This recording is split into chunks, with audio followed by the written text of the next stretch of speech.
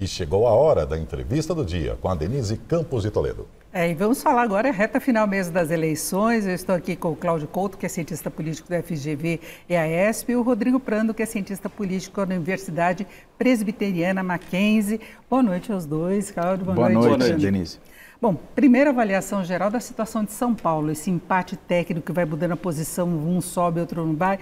A gente vê que nas últimas pesquisas aparece que há uma tendência de queda de Nunes. E ontem nós tivemos o último debate, começando aqui pelo Cláudio Couto. Qual a sua avaliação em relação ao que podemos esperar para domingo, o resultado das urnas? Olha, como você bem colocou, a gente tem um empate técnico, mas há alguns movimentos acontecendo aí quando a gente observa a evolução dos três candidatos que estão à frente da pesquisa nos últimos tempos. Muito claramente, a gente tem o Boulos numa situação relativamente estacionária, com um pequeno um pequeno aclive né, no período mais recente, mas muito, muito, muito pequeno e depende muito da pesquisa, porque a cada pesquisa a gente tem um resultado diferente, de institutos diferentes, e isso evidentemente deixa margem para alguma dúvida, inclusive na ordem né, dos candidatos. E a gente vê, mas isso tem, tem aparecido mais frequentemente, uma, uma relativa queda do Nunes e uma subida do Marçal. Então, como esses dois candidatos eles compartilham um eleitorado que em boa parte é comum, o que pode acontecer é haver um cruzamento, o Marçal ultrapassar o Nunes. Se isso acontecer, a gente vai ter uma situação curiosa em que aquele candidato que, desde que os nomes foram colocados de maneira mais pública, liderou as pesquisas, que é o caso do Ricardo Nunes, o prefeito atual, e a gente sabe que prefeito atual sempre tem uma certa vantagem, pode correr o risco de não ir para o segundo turno. E aí a gente vai ter uma situação curiosa em que há o risco, ele, que foi apoiado pelo Bolsonaro oficialmente, e o Marçal, que tem sido apoiado por bolsonaristas de modo geral, da gente ter um bolsonarista derrotando outro bolsonarista. Brando concorda com essa avaliação e mais do que isso, nesse contexto, como é que ficaria a questão da rejeição? Não, eu concordo, concordo com o Cláudio e acrescento um aspecto que fica muito claro, né? Bolsonaro não é dono dos votos dos bolsonaristas, né? Bolsonaro foi pouco presente em São Paulo, Lula também, Ambos pa grandes padrinhos foram mas pouco Lula presentes. participou mas mais, inclusive participou, vídeo. Sim, participou mais. Bolsonaro não. Agora, a rejeição, a rejeição de Pablo Marçal, por exemplo, é uma rejeição muito alta e está chegando, salvo o melhor juiz, em 59% no segmento do eleitorado feminino. Então, assim, é muito difícil, num segundo turno, vencer é, uma rejeição deste tipo. Mas eu conversava com o Cláudio nos bastidores. Em tempos normais, ultimamente, a gente tem tido algumas coisas disruptivas e a gente sabe que uma sociedade em rede hiperconectada tem troca de informação até o último momento. E aí essa questão dos institutos não é só metodologia, eu acho que tem coisa muito mais represada que aquela metodologia a ciência não consegue às vezes captar com a precisão que uma sociedade que até o último minuto decide o voto consegue colocar para a gente. É, são nichos aí de comportamento que podem impulsionar mais um ou outro candidato. Agora, o que a gente percebe ah, já nas últimas eleições que boa parte do eleitorado começa a ter idolatria por determinados candidatos, uhum. mesmo e, e, principalmente aqueles que apresentam um radicalismo maior de posturas, e a gente viu isso muito em todos os debates durante essa campanha, e uma direita mais forte. Se falava muito de São Paulo, dessa centro-esquerda. Isso ainda pode pesar nessas eleições? Porque São Paulo já, já elegeu prefeito de direita também. Sim, é, São Paulo tem uma certa alternância, né? embora a gente tenha mais tempo de São Paulo sendo governada pelo centro e pela direita, nós tivemos aí três prefeitos de esquerda ao longo da história. Então não é uma cidade que, digamos, está de um único lado do espectro político ideológico. Né? E mesmo essa configuração que a gente tem agora, um candidato à esquerda, um candidato na extrema direita e um candidato que tenta ali navegar do centro para a direita, mostra que você tem uma divisão também no eleitorado. E mesmo a quarta candidata, que aparece ali um pouco acima dos 10%, que é a Tabata Amaral, também cavando nesse eleitorado de centro. Então, é, é uma sociedade que está muito dividida do ponto de vista eleitoral. Agora, a gente tem hoje uma direita que eu diria, ela é diferente daquela direita tradicional, por exemplo, do malufismo, do janismo, porque ela está muito mais radicalizada uhum. e ela responde, e daí você falou a questão da idolatria dos candidatos, ela responde muito mais a estímulos que são estímulos do campo afetivo, emocional, uhum. e muito menos ela responde a questões relacionadas a propostas concretas.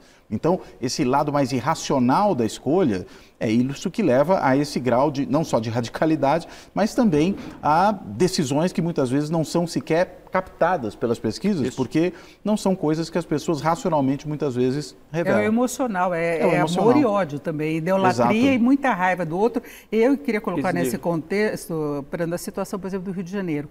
Lá Bolsonaro se expôs muito mais, Sim. só que a gente vê o Eduardo Paes muito à frente do Ramagem, a, aí seria uma questão de gestão mesmo. Então, o peso do bolsonarismo lá está sendo menor, pelo menos por enquanto menor por enquanto e acrescento que o, o, Eduardo Paes tem um grupo de centro, um conjunto de partidos mais centro que ele captou todo mundo e está com ele. Então o Ramagem, na verdade, lá não tem o que aqui Ricardo Nunes e Pablo Marçal têm. Lá ele é o candidato sozinho que representa um espectro político, ao passo que este centro, do centro à direita, até pessoas de centro-esquerda, estão mais ligados ali a uma figura que é do atual prefeito. Se me permite uma questão do Couto aqui sobre essa coisa do sentimento. E um elemento novo também, as redes sociais e os algoritmos impulsionam uhum. esses sentimentos, raiva, ódio, angústia, e o Pablo Marçal, por exemplo, sabe lidar com isso muito bem. E aí, inclusive, um dia troquei ideia com o Couto num outro programa, a gente, eu disse e ele concordou, enfim, mas pode discordar aqui agora também, que é o seguinte, é, o Bolsonaro, ele era um ator bem colocado, mas ele não fazia o roteiro. O Pablo Marçal consegue Sim. ser o roteirista e o ator. Veja a mudança de postura no debate de ontem como houve uma diferença dos últimos debates, você sabe bem, porque você mediou um deles, né? Exatamente. Ele tentou manter essa postura certa, agora em determinado momento, Prando, Boulos conseguiu tirá-lo do sério. Tirou. Não é? Ele voltou a ser o Pablo Sim. Marçal, então ele mostrou aquele, aquela primeira versão que é a versão original. Na verdade, nós sabemos disso, que ele não é aquele mocinho bem comportado, mas é o que também conquistou boa parte do eleitorado. Sim, mas eu acho que esse, essa posição dele ontem, porque assim, ó, político, quando fala tem três plateias. Os que não concordam com ele de jeito nenhum, os que já estão com ele e os indecisos. É perder tempo, esforço, energia e dinheiro aqueles que já estão contigo e os que não estarão. Então você tem que falar para esse eleitor que está indeciso. Ontem o Pablo Marçal tentou fazer esse movimento. E aí eu quero comparar de novo. O Bolsonaro nunca fez esse movimento de ir ao centro. Bolsonaro sempre manteve um discurso para o seu grupo político e inclusive para os mais radicalizados. E aí o Marçal talvez tenha na próxima, amanhã tem pesquisa, na próxima rodada de pesquisa vai captar, eu acho, que uma subida, não sei se muito intensa, mas uma subida uh, do Pablo Marçal. E aí eu vou concordar com o Cláudio que eu acho que ele sobe e o Nunes pode estar perdendo alguns pontos importantes num tríplice empate, como a gente tem visto. Agora, no segundo turno, com o Marçal tendo tempo de rádio e TV, e essa força de rede social, ele consegue reverter a rejeição que ele tem?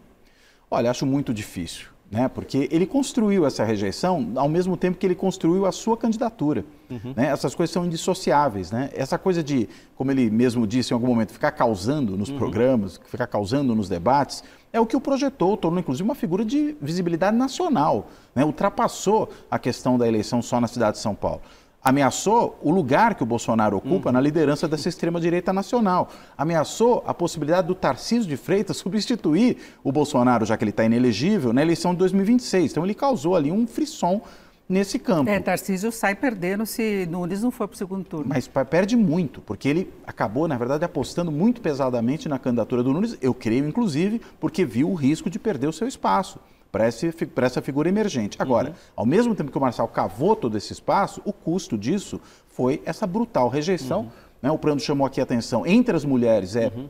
absurda, a gente está uhum. falando de alguma coisa aí como três quintos das uhum. mulheres que rejeitam fortemente né, a figura uhum. dele. Então, como é que você supera isso no segundo turno? Eu acho muito difícil. Né? O segundo turno, isso já virou até chavão, é uma disputa sobre o menos rejeitado. Uhum. Né? E o Marçal é muito mais rejeitado que o Bolo, segundo o Datafolha, 15 pontos percentuais a mais. Agora, falando dessa questão de padrinhos políticos, Prando, nós temos uma situação, por exemplo, em Guarulhos, em que houve um erro do PT estratégico, e aí eu acho que com a participação direta do presidente Lula na indicação. Nós temos o deputado federal Alencar Santana com 8,4% em uma das pesquisas, enquanto Eloy Pietá, que era do PT e, e saiu do PT porque ele não gostou da outra indicação, liderando as pesquisas. Sim. E aí Gucci, que era muito bem avaliado, não está conseguindo fazer o sucessor, pelo menos é o diagnóstico que se tem até agora. Né? É, não é o primeiro erro do PT neste caso, porque também na última eleição municipal aqui, o candidato do PT saiu muito mal. E é por isso que, inclusive, o Boulos não é do PT, mas tem o apoio do Lula. Então, nem sempre o presidente Lula, nem sempre o PT, aliás, nenhum partido e nenhum desses grandes padrinhos são infalíveis. Só para pensar uma questão, né? Bolsonaro, na cadeira de presidente da República, em que pese que havia uma pandemia na última eleição municipal, não teve um sucesso tão extraordinário fazendo prefeitos. Teve melhor condição ali no Congresso, com senadores uhum. e, e, com deputados. Mas prefeitos, esse ecossistema municipal que interage é, com o, o, o sistema político brasileiro, ele tem essas nuances. Então o PT me parece que fez uma indicação ruim nesse caso, mas já fez outras e não é infalível. Tem um partido que costuma ter essa característica do hegemonismo, né? Sempre gosta de descer com a bola para brincar e se tem qualquer coisa, sobe de novo e leva a bola embora, acabando com o jogo. É, em termos de país, a gente vê dessa disputa de polarização é mais entre esquerda e direita do que entre apoiados pelo Lula, hum, até o, porque o PT Exato. não tem tantos candidatos assim, uhum. principalmente nas capitais, e no caso da, da direita é o PL, mas pelo que o partido cresceu. Perfeito. Inclusive gastou todo o dinheiro. Valdemar uhum. Costa Neto falou que queimou porque tem candidato demais para financiar financiar a campanha. É isso mesmo? Não, eu acho que você está coberto de razão. É isso mesmo, porque se consolidou né, uma direita e uma direita radical, mesmo extrema-direita no país, e tem um partido, que é o PL. Lá em 2020, que o Prando uhum. lembrou, o Bolsonaro apoiou uma série de candidatos, foi um fiasco, Sim. mas ele não tinha partido. Não. Ele tentou criar a União pelo Brasil, fracassou, apoiou candidatos espalhados pelo país e praticamente nenhum desses candidatos que ele apoiou tiveram sucesso Isso. naquela eleição. Agora, a eleição municipal, é bom lembrar disso, ela é uma eleição que dificilmente ela se decide por conta do que ocorre no nível nacional. É. Ou seja, não é olhando para o nível nacional que o eleitor decide no nível local. Né? Não é por causa de um padrinho nacional importante que ele vai votar ali. Não é porque o governo federal vai bem de um partido que ele vai votar no prefeito do mesmo partido. Ele olha para o seu município, para os problemas do município, para aquilo que já foi experimentado ali que é o que, por exemplo, pode explicar essa situação de Guarulhos com o Eloy Pietá. Agora, no ABC também o PT tende a não se recuperar muito, vai ficar onde já está. E é uma situação que é o berço político do partido, né? Quer dizer, a questão do, do, do ABC para o Lula é muito importante. Eu acho que a situação também, como você bem coloca, fica difícil. No fundo, eu creio o seguinte: em alguns partidos, eu acho que o PT ele precisa de um adornamento, ele precisa se renovar, ele precisa ter novas lideranças, precisa oxigenar. Eu digo à esquerda ou à direita, partidos de direita também precisam disso a política mudou, a sociedade mudou e eu acho que os políticos ainda estão olhando de uma maneira muito analógica uma sociedade que está hiperconectada. É, e aí, no caso de São Paulo, por exemplo, chama atenção a indicação de vice. Né? Nós Sim. temos Marta Suplicy, que se pensava que ia agregar mais votos a bolos, dá a impressão que não conseguiu, e ela, em alguns momentos, ficou contra o PT. Ela tinha mudado de partido, ela retornou, Sim. ela estava no governo de Nunes, e aí nós temos Pablo Marçal, que escolheu uma vice que seria característica assim, das minorias. É? Ele fala muito que é, é uma mulher, apesar dele ter essa rejeição, que é negra, que era pobre, que é PM. Então, pega vários nichos do eleitorado. Mas também é uma situação complicada, não agrega votos tanto quanto se imagina. Né? É, o vice dificilmente agrega votos, né? sobretudo se é um vice pouco conhecido. Ela pode ter, essa vice Marçal, todas as características, mas pouca gente sabe quem ela é. Mesmo no caso da Marta, que já foi prefeita de São Paulo, é uma prefeita que foi popular na periferia, uhum. mesmo quando o Haddad perdeu para o Dória na cidade de São Paulo, ela conseguiu ganhar em alguns distritos, o Haddad não chegou a ganhar em nenhum deles. Enfim, a Marta poderia ser esse trunfo para o Boulos. Acho que é em algum grau apenas, muito pouco. Não é isso que decide a eleição. As pessoas olham efetivamente para o candidato que é o cabeça de chapa. E talvez, em algumas situações, se lembrem de olhar para o vice. Então, não é por aí que a coisa vai se resolver. Agora, ficando aí entre Pablo Marçal, se não tiver nenhuma surpresa da, da, da pesquisa amanhã, e Boulos, ah, como é que fica essa questão de se lidar com o radicalismo dos dois? Como é que o eleitor vai se situar? Aquele é. eleitor mais conservador, que pensa mais na política tradicional?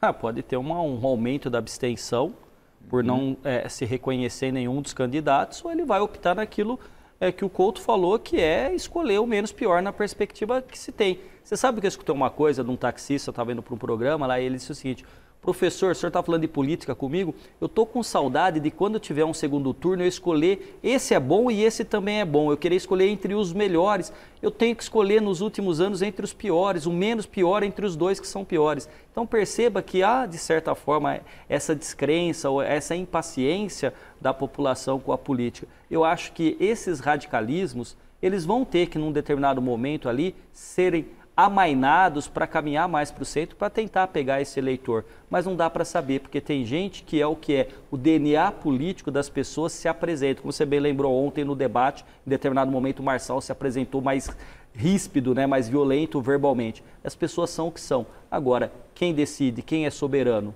O eleitor, o cidadão. É, e a gente fala dessa questão de paixões, né, pra, nós já estamos quase encerrando, mas muita gente elogia a posição da Tabata, né, que ela tenta fugir da polarização, é. ela se preocupa em, em, apresentar propostas, em ter grupos de estudos, mas ela não foi naquele primeiro pelotão, pelo menos não está por enquanto, apesar de estar subindo.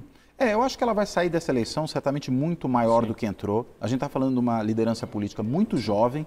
Quer dizer, para ela, essa eleição, ganhando ou perdendo, acho que ela sai ganhando. Uhum. Né? Porque sai realmente maior, se projeta para futuras disputas, pode se apresentar como candidata mesmo à Prefeitura de São Paulo em outros momentos, né? se se mantiver esse cenário que a gente tem hoje. E acho que ela apelou muito mais para a questão racional uhum. das pessoas. Né? Ela vem com todas essas propostas e, como eu falei antes já, as pessoas estão muitas vezes decidindo com a emoção e não com a razão, para ela fica um pouco mais difícil. É isso, eu agradeço muito a participação do Rodrigo Prando, que é cientista político da Universidade Presbiteriana Mackenzie, e do Cláudio Couto, que é cientista político da FGV e AESP. Muito obrigada aos dois. Eu que agradeço. Boa Obrigado, noite. Denise. Boa noite. Com vocês.